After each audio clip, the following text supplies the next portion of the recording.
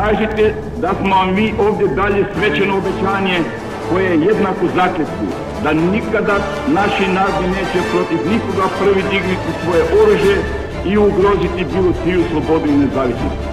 Ali isto tako kažete i to da su naši narodi spremni braniti svoju teško stečenu slobodu do zadnjega daha.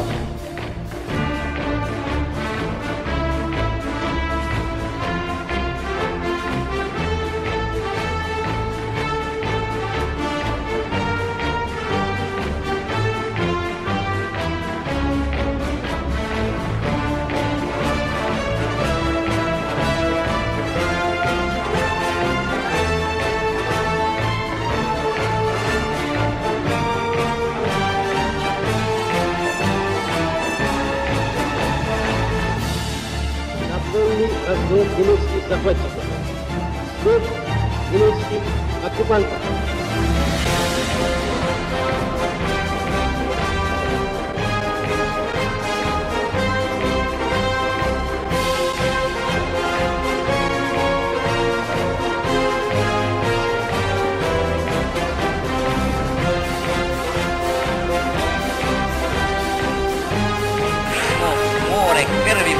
Prolili za braću jedinstvo naših naroda. I nećemo nikome dozvoliti da nam dira ili da nam ruje iznutra da se ruši.